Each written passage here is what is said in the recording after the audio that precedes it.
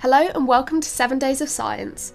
In the headlines this week, some ancient platypus ancestors have been discovered in Australia, a giant Jurassic pterosaur has been found, crows have been found to count like humans, and much more.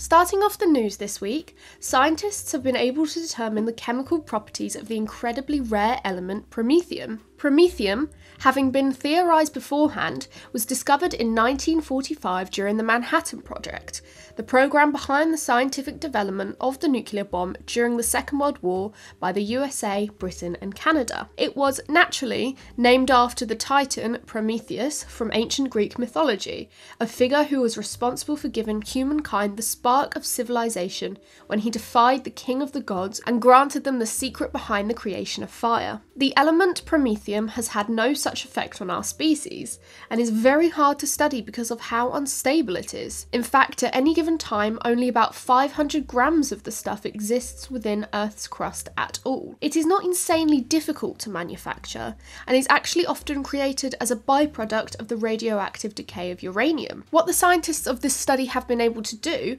publishing their work in the journal Nature, is form a compound of promethium and surrounded this compound with water. This means that for the first time ever, they were able to study many of its chemical properties, such as the length of the bonds it created with the atoms around it. This was done using X ray spectroscopy, a process that basically involves firing X rays at the target and then seeing which frequencies are absorbed by the target. One scientist called the previous lack of knowledge about promethium a glaring gap for all of science, as promethium was previously the only lanthanide metal not to have had its chemical properties studied. An important chemical study then, and knowing more about this element will help in its manufacture and could help in the development of future technologies that can now utilise promethium with a greater understanding.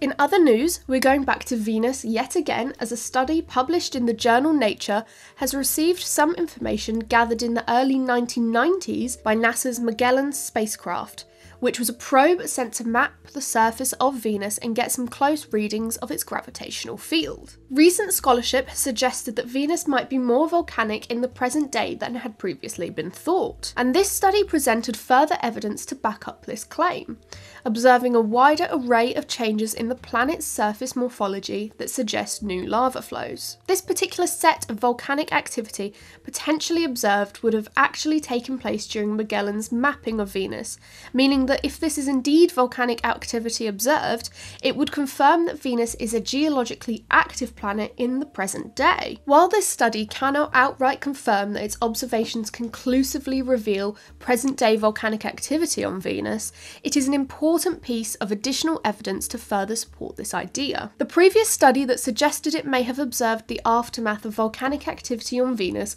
was published in 2023 and both of these studies say that Venus could have a level of volcanic activity that was similar to that of Earth's. This is an incredibly important study in adding yet more evidence to this idea, and the combination of both of these observations will no doubt encourage further scholarship on the current volcanic activity of Venus and may even influence the instrumentation and observational focus of planned missions to our sister planet. Also in the news this week, an amazing study has shown that crows are able to count out loud, a skill that is often challenging even for young humans. The researchers designed an experiment in which three carrion crows that had already been taught to caw on command would associate a visual cue with a number of calls they wanted them to produce going from one to four calls. Then they had to peck at a key on a touchscreen monitor when they were finished and were rewarded with food if they did the task correctly. The scientists found that the crows were correct most of the time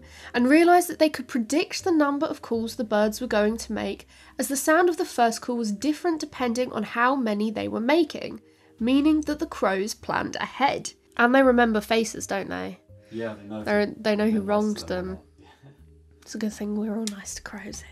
However, they did also sometimes still make mistakes, sometimes producing more or fewer calls than it seemed like they had planned based on the sound of their first call, and so they were likely losing count of how many they meant to make. Neuroscientists have explained that what the crows are doing is not technically true counting, since they don't actually understand the symbolism of numbers but they say that it might be an evolutionary precursor of that ability. It's a fascinating paper exploring the biological origins of numerical abilities in animals and showing how smart these birds are. First up in the paleontology news this week is the wonderful announcement of the discovery of three new species of ancient platypus relatives from Australia. I love platypuses.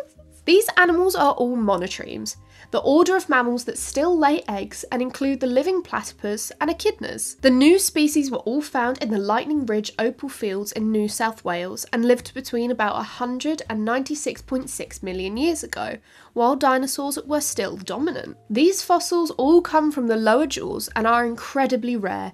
They have also been opalized during their preservation, giving them a remarkable appearance. The first of the three new species is named Opalios splendens, and it seems to represent a monotreme that evolved before the major split between the echidnas and the platypus, being described by paleontologists as having its overall anatomy probably quite like the platypus, but with features of the jaw and snout a bit more like an echidna. So, as they say, you might call it an echidnapus. The second species is named Dharragarra aurora, and this species has only three molars instead of the five seen in Opalios, documenting the gradual reduction in dentition from a toothy ancestor to the almost entirely toothless monotremes of today. The third new species is Parvopalus clytiei, now one of the smallest known monotremes, and it again had only three molars. Only three species of monotremes had been previously known from the Lightning Ridge fauna, and so these three new species double the recorded diversity of these mammals from this time and actually making it the most diverse assemblage of fossil monotremes that we know about. The paleontologists also think that they may have solved an interesting evolutionary mystery too. Adult platypuses are toothless, but juveniles still retain basic molars, and this switch to being mostly toothless seems to have happened relatively geologically recently, since toothed platypus relatives have been found as recently as about 5 million years ago. This means that the platypus lineage retained their molar teeth for around 95 million years, but then at some point in the last 5 million years were highly reduced. Well, the researchers now think it could have something to do with the arrival of the Australian water rat within the last couple of million years, which is a similar size to the platypus and therefore may have been competing with it for similar food sources. The platypus lineage may have therefore changed their diet to feed on softer prey to avoid competition, no longer needing their molar teeth and instead using horny pads to process food. Lots of interesting monotreme discoveries in this paper then. Also in the news, a fantastic new study has confirmed that a site in Patagonia records the KPG extinction event, when a massive asteroid collided with the planet and caused the extinction of the non bird dinosaurs. Most of the localities that record this event are in the northern hemisphere and at generally low latitudes, but this new site in Chilean Patagonia provides a great new opportunity to study the end Cretaceous event at high southern latitudes. The researchers identified a layer of iridium enrichment consistent with the impact, as this element is rare on Earth but abundant in meteorites, and they showed a significant disturbance in the environment marked by the microscopic spore and plant fragment record. So, a very cool paper confirming that this site can now be used to investigate the effects of the impact on this part of the planet. Up next in the paleo news, an exciting discovery from Oxfordshire in England has uncovered one of the largest known examples of a Jurassic pterosaur. It came from a gravel pit that exposed the late Jurassic aged Kimmeridge clay formation and is almost 150 million years old. The fossil is a partial finger bone that would have supported the wing of this pterosaur, and it's been estimated to measure at least 3 metres in wingspan. Pterosaurs in the Jurassic period did not get to the giant sizes they later achieved in the Cretaceous, rarely growing to wingspans of more than 3 metres, and so this large finger bone is a significant discovery. Paleontologists have identified it as coming from a ctenochasmatoid, which includes the amazing suspension feeding ctenochasmatids as well as others. Did I say that right? Yes! Significantly, this means that it's also a pterodactyloid, the more derived or advanced major grouping of these flying reptiles, and is therefore one of the first of these kinds of pterosaurs to be reported from the Jurassic of the UK. So, another very exciting discovery. And by one of our lecturers? Yeah, a couple of them. A couple of them. Nice. And finally, for the news this week, a study has looked at how saber-toothed cats processed food as babies. It's a complementary study to the one we covered a few weeks ago, suggesting that Smilodon went through a double saber-tooth stage and includes the author of that paper. I'm so jealous. Was it Doug that covered that? I think it was. Yeah. when I get my hands on him. I wanted to cover that one.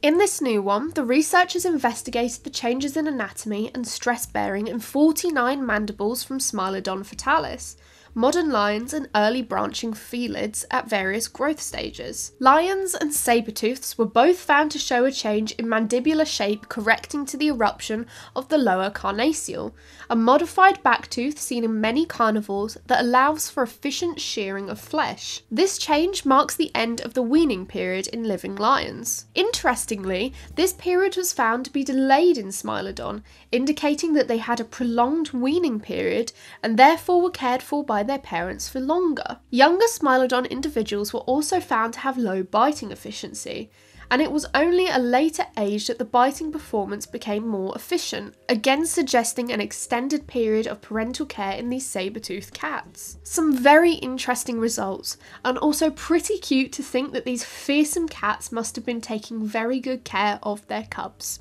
Well, that's it for the news this week. I hope you enjoyed learning about everything that's happened in these last seven days of science. Also, be sure to go follow our TikTok and Instagram accounts if you like for more paleontological news updates and short form videos about various extinct animals. Thank you for watching, and we'll see you next time.